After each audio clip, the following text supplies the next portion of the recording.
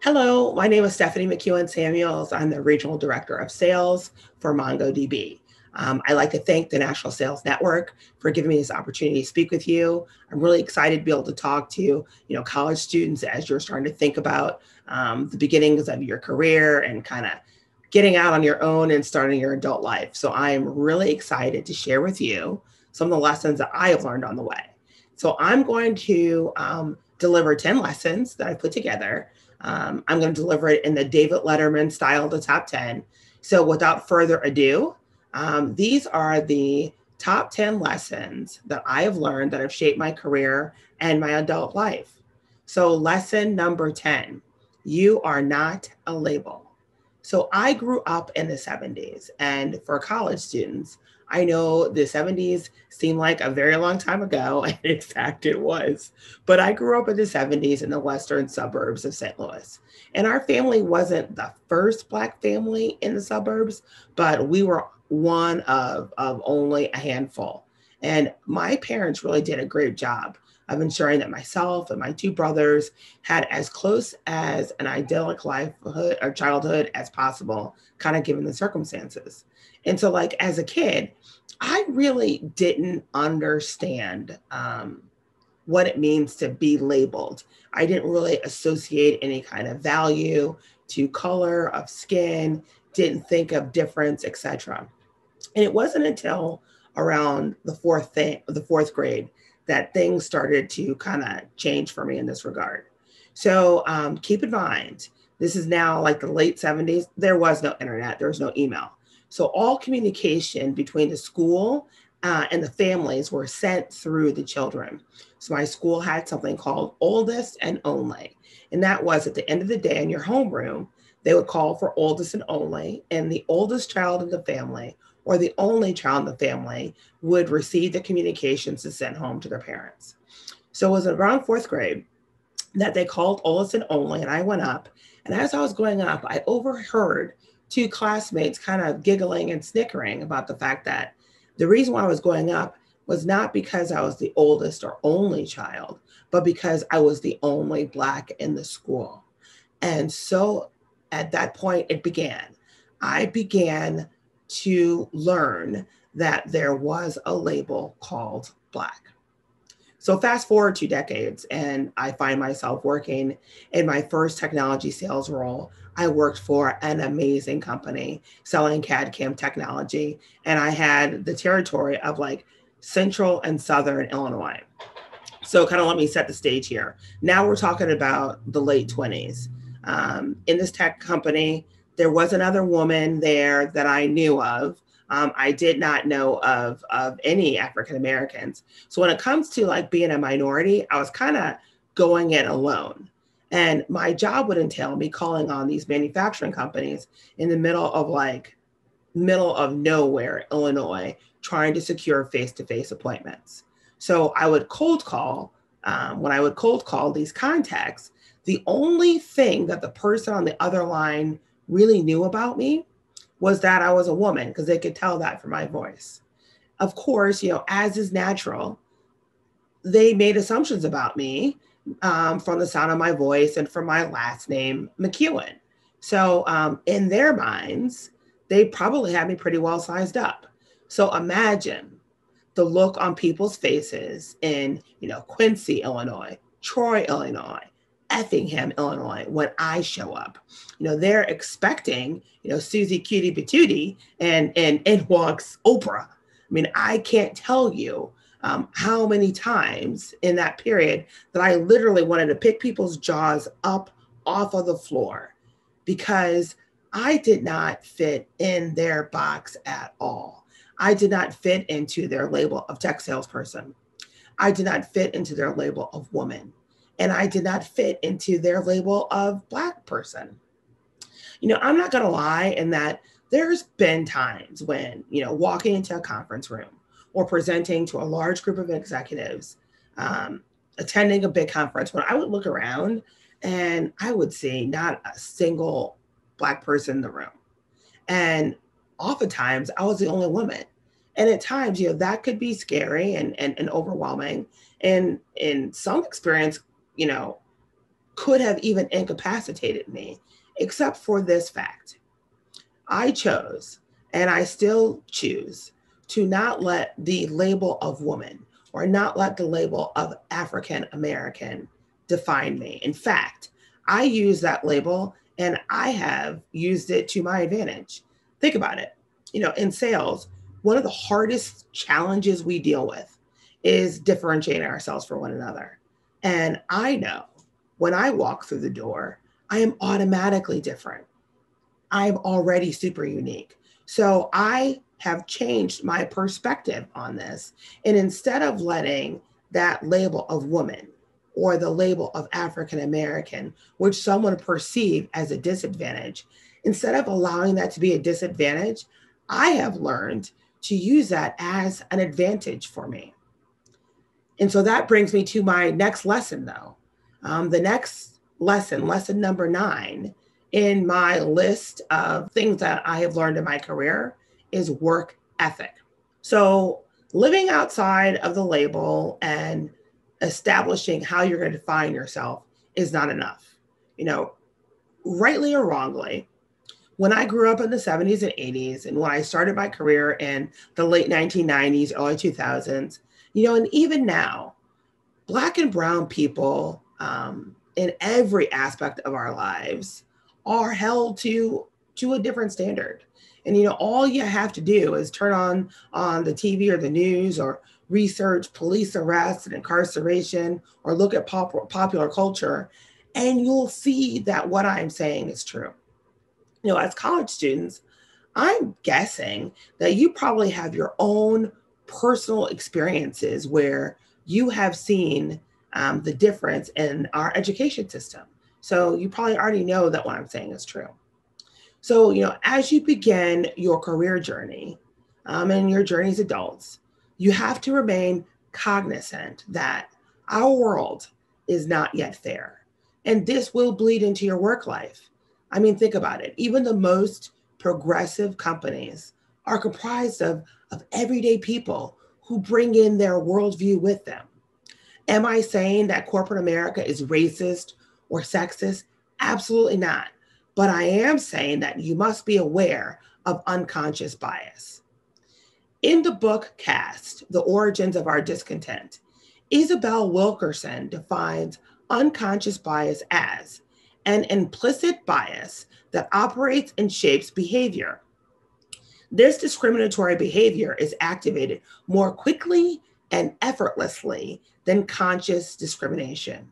She further goes on to write these autonomic responses contribute to disparities in hiring and housing, education, and medical treatment. Now, I did not need to read a book to know that unconscious bias had been in play in my life. And, and I suspect that all of you guys out there, you didn't need to read this book, you know, read a book either. Um, what I've learned though is that through uh, through work ethic a good work ethic is something that is used to counterbalance unconscious bias.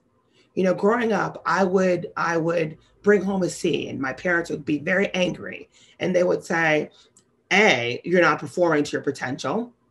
Uh, and B, and this is the most profound statement, they would say to me, Steph, you cannot afford to be average.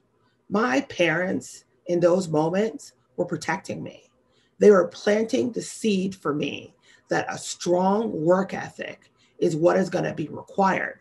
In fact, it's going to be my best shot at being successful and overcoming unconscious bias. You know, to this day, I attribute my success to work ethic, to working harder, working smarter, knowing more, being willing to make one last phone call, being willing to send one last email, closing one last deal, no matter how small, being willing to do more than the what what the next person is willing to do.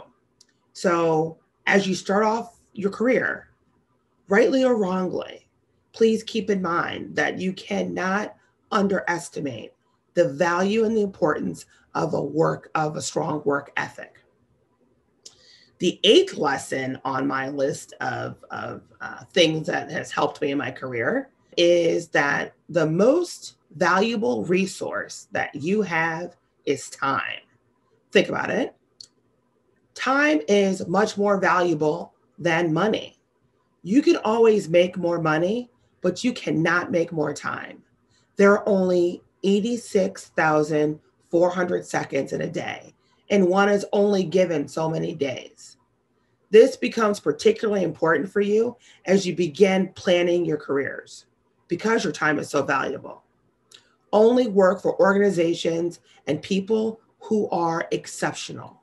Research and find organizations that are going to push you to be your best, that are known for developing talent, that truly believe in the strength that uh, the organization is in the strength of their people. This is why I'm at MongoDB. I mean, our data platform is undeniably exceptional. It's exceptional technology. But more than that, we have exceptional people across the board in all areas of our company. And these exceptional people operate at a higher level than the vast majority of other companies. This is what makes us awesome. This makes us better as individuals and makes our company better as a whole. This is what you must look for as you're starting your career because you don't want to spend a decade of your time or even a year of your time working for or working with average people, working with B players, working for an organization where they're okay with folks just kind of phoning it in. That will not make you better. That will not allow you or help you to grow faster. Keep in mind, iron sharpens iron. So go find the best company and work for them. Notice, I did not say go find the easiest job that pays well. I said give your time to the best company you can find. Give your valuable time only to those organizations who deserve it. When it comes to working, when it comes to your career, right now and throughout your career, you should be thinking quid pro quo you should be thinking, I will give my valuable time in exchange for development, in exchange for leadership opportunities, in exchange for trading, for mentoring, for an opportunity to create wealth, not just make money. Uh, and by the way, I just like to, to say that MongoDB is hiring, and we are looking for people just like you. Although at this phase of your life, you may be thinking, I'm short on work experience, but here's what you are you are long on energy, you're long on fresh new ideas, and you are long on time. This fundamental understanding of the value of time is something that I wish that I would have learned at your age, and that is why it's made it to my top 10 list. This brings me to the seventh lesson on my top 10 list, and that is beware of crabs in the bucket. So I'm from Missouri. My folks are from um, Arkansas and Tennessee. So growing up, I heard all sorts of old Southern sayings, and this was one of them beware of crabs in the bucket. When there's a single crab in a bucket, it endeavors to escape to freedom, and depending on the size of the bucket, it succeeds. When there's more than one crab in the bucket, as soon as one crab tries to escape, the others pull at its legs to keep them down. You may have already seen this in your own world experiences, your own life experiences. I know at your age, I had already seen this phenomenon. I had countless people say to me, uh, Why are you talking white? You know, why do you act that way? Why do you think you're better than everyone else? When I was younger, comments like that really confounded me and even hurt my feelings. And looking back through the lens of time and through the lens of maturity, I recognize exactly how sad those statements were. Those statements were, in essence, saying, as Black and Brown people, we belong at the bottom of the barrel. We are, we belong in a situation where we're unable to move, unable to escape, to escape our lot in life, unable to improve. You know, how dare you have the audacity and the arrogance to think that you can make yourself better? Um, as you are establishing yourself as adults um, and establishing your careers, I just caution you against being anywhere near this crab mentality. In fact, there's two specific aspects I want you to think about when you think of crab mentality. One, do not surround yourself with crabs. Your potential and your future is too great to spend your valuable time with people who would rather nip at your heels and hold you back than encourage you. I fully understand that this may mean you need to let loose um, some friends and family. So be it. Um, number two is do not fall into the group mentality of acting like other crabs. You don't want to fall into groupthink of so and so didn't deserve that promotion or Kevin thinks he's so damn smart and he's not that smart. Do not let that be you. Don't waste your time or your mentality with with that type of, of thought process. I want you to hold yourself to a higher standard. And the idea of holding yourself to a higher standard is a perfect segue to my next lesson. The sixth lesson on my list is you have an obligation. So, everyone participating in this virtual seminar is special and unique and, and has plans for success, or else you wouldn't be investing your time here. With work ethic and holding yourself accountable and not letting others around you or society get in your head and label you, you will be successful. And as the, the late, great Stan Lee wrote in Spider Man, with great power comes great responsibility. This means, you know, as as you progress in your career, um, as you become more successful, you will have an obligation um, to help others. Um, you will have an obligation to mentor other people of color, other women, other people in underrepresented groups on how to become successful, how to leverage lessons that you have learned so that they can catapult themselves further faster. In fact, that is why I'm here. I am here because I feel obligated and not in the negative sense or the connotation of the word obligation, but in the positive sense of the word. I've been blessed with great mentors and I've had a lot of success. And I want to pass my knowledge on to you so that you don't have to reinvent the wheel. This is my obligation as a successful person from an underrepresented class. So when you approach obligation from the positive sense, recognize that you are helping individuals and you are helping the whole. And that's what it's all about. This brings me to um, my fifth career lesson that I've learned, and that is create your own personal board of directors. So the Harvard Business Review writes the board of directors is the most important function, or the board of directors' most important function is to approve or send back for amendment management's recommendations about the future direction of the corporation. So, why would I suggest that you have a personal board of directors and what do I mean? In lesson seven, I already cautioned you against crabs in the bucket, not surrounding yourself with people who are not supportive of your success. The board of directors concept is actually kind of like the mirror image of that lesson. In this concept, you are purposefully surrounding yourself with people who have a genuine interest in your success. By creating a board of directors, you are a corporation and you need key people around you who, will help guide you or approve the path that you're on, and who will tell you when you're off course and help you rethink your strategy. This personal board of directors has to be of, comprised of people who, who know you well, people that you respect enough, people who are smart enough to be able to reorient you when you lose direction a bit or you get off course. And trust me, that'll happen. It happens to all of us, and that's okay. But that's why it is important that you surround yourself with the right type of people. The people on your board of directors need to be cr- comprised of people with, with different skill sets and in different stages of their own journey. For example, you're going to want people on your board who are career mentors, people who can give you great business guidance. You'll want um, a type of person who's a financial advisor on your board, someone who can coach you through building wealth, not just making money. Um, you'll want a religious or spiritual type of, of advisor on your board, someone who will help you maintain who you are as you are growing and evolving and help you stay true to your North Star. So you need to surround yourself with with with with quality people. As you're starting off in your career, think of it like this. You're really like a startup company looking to IPO. That means you need to surround yourself with people who have done this before, people who have already been successful and have knowledge, people who have who are invested in your success and are willing to share their knowledge with you.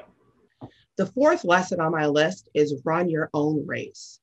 In many ways, this lesson is companion to the first lesson I spoke about related to you are not on the label.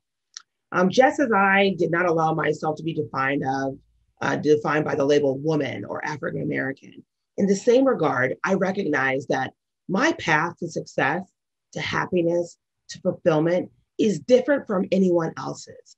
I am running my own race. And in this race, my competition is myself myself from yesterday, myself from a year ago, myself from five years ago. And in this race, I am on my own course. That means I try not to let myself get, you know, wrapped around the axle about what people typically do, what is standard, what is normal. It was in my my late high school, early college, um, those experiences that really taught me this lesson. The typical college race or path, if you will, is that you graduate high school, you apply and enter college, you go for four years of college, and then you graduate. That was the race that I had expected to run, to run. But as it turns out, that was not my course. I started off at Boston University and two semesters into college, you know, my father um, stopped making financial payments toward my college because he had a terminal illness. Uh, but I was unaware that my tuition was not being paid. As a result, I was administratively re- withdrawn um, from BU due to non-payment. Um, my older brother had this phrase. His phrase is, you've got to be smarter than the problem. So we figured out the solution to get me through school without having the financial means at the time was that I had to become an independent of the state of Massachusetts. That meant neither neither of my parents could claim me on their taxes for a year, and I had to work. Um, so after a little bit over a year, and after I was independent of the state of Ma- uh, state of Massachusetts, at that point I applied to Harvard University, and I was accepted. I was working full time during the day, and I went to school full time at night. It took me every bit of a full five and a half years to graduate college. If I was running the standard college race, I should have graduated in four de- in four years. So, like by definition, I didn't do so good on that race. But as it turns out, I was not running the standard race. I was running my own race, and I won my race. I graduated cum laude from Harvard, and I cherished that degree so much because it was so hard fought. So, really, the moral of this lesson is you are on your own path, you are running your own race. Recognize that and measure yourself based on that. This story really exemplifies um, the third lesson on my list, and that is perseverance. Merriam Webster defines perseverance as continued effort to do or achieve something despite difficulties, failure, or opposition. It's the action or the condition or an instance of persevering, steadfastness. As I look back on my college experience and, and wonder how I even got through that phase, um, one, one thing comes to mind, and that is perseverance.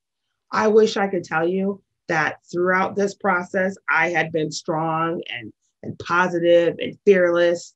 Um, but but I'd be lying. There were plenty of times when I felt defeated. I felt less than. I felt like I wanted to give up. And it was in those times that I had my mom's constant encouragement. That encouragement, coupled with my own inner voice that I called perseverance, told me to keep moving, to don't stop, keep moving forward.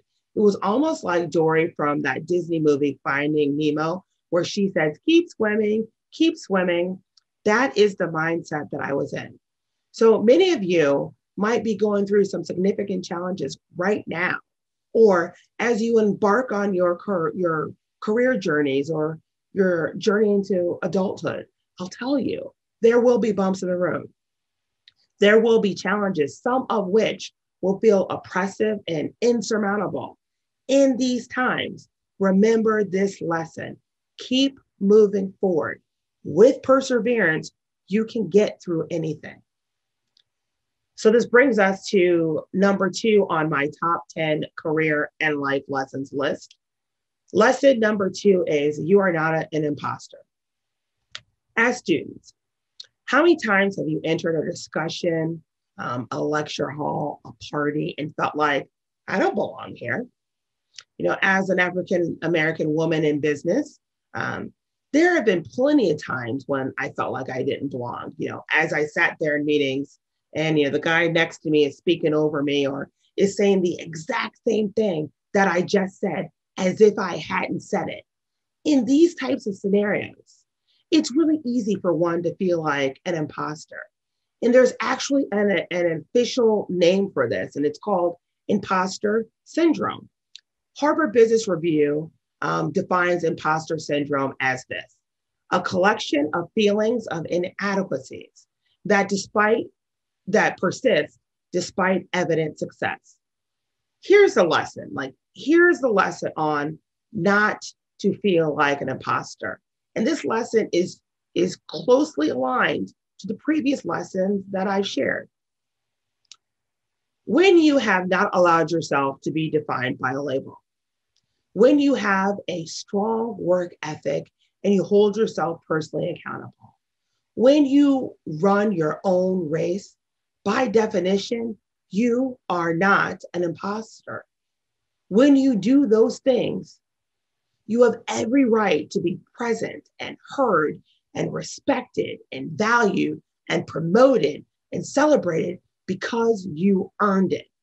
Do not let crabs in your bucket do not let society or even your own inner thoughts sabotage your thinking, sabotage you into believing that you are an imposter because you are not. This lesson is just that simple. And alas, this brings me to my number one, uh, to number one on my career and life lessons list. And this is the most important lesson of them all. And that is the phrase, there will be beauty from ashes. Now, the phrase itself um, is a biblical phrase, but don't let that put you off because this lesson is not related to religion per se. In both my, my personal life and in my career, the best growth and the most amazing opportunities have come from circumstances where I felt like my life was burning down and just turning to ash. You know, one such example I spoke of early, earlier, getting kicked out of Boston University for financial reasons. At the time, that was horribly embarrassing, only to be quickly followed up by, you know, learning that my father had a terminal illness. That phase was sad and frustrating and had me feeling somewhat helpless. I mentioned that, you know, that during that time, I had to go to, I had to, you know, to go to school and I had to work full time. My older brother's girlfriend was working at a cool tech startup company. And through her, I got a job as a receptionist. I was not working the phones for very long before I was promoted into their production department. And I got exposure to all different areas of the business. And I got to meet and hang out with technology salespeople. And at that time, neither they nor I realized the imprint they were putting on my mind. I then went to work for another cool tech startup company. You know, fun fact this company's supercomputer was featured in the movie Jurassic Park. I then worked, went to work for another cool tech company. Um, this company had uh, was a key contributor um, to the precursor of the internet. So, because of my father's illness and because of getting booted from from college initially, you know, I got exposed to careers in technology and specifically technology sales that I would not have even dreamed of. Had none of those traumatic events happened, I am 100% confident that I would not be here speaking with you today. I'm 100% confident that I would not be in the middle of an amazing technology sales career and reaping all the benefits of that career entails. Had my life not, you know, metaphorically burned down to ash, I would not have the beautiful life that I am living now. So, my lesson for you is this when things are bad, when they are really, really bad, fear not, because given enough time, you will see growth and opportunity and beauty from those ashes. So that's that's it. That is 23 years of tech sales, uh, of my life lessons distilled in 30 minutes and 10 life lessons. So let's recap these life lessons. Lesson number 10 you are more than a label. Lesson nine have incredible work ethic. Lesson number eight your most valuable resource is your time. Lesson seven beware of crabs in the bucket. Lesson six you have an obligation. Lesson five create your own personal board of directors. Lesson four run your own race. Lesson three perseverance. Lesson two you are not an imposter. In lesson one, the number one lesson is there will be beauty for ashes. Thank you very much, the National Sales Network, for giving me this opportunity to speak with you. And I wish you all the very best in your career endeavors. And remember, MongoDB is hiring.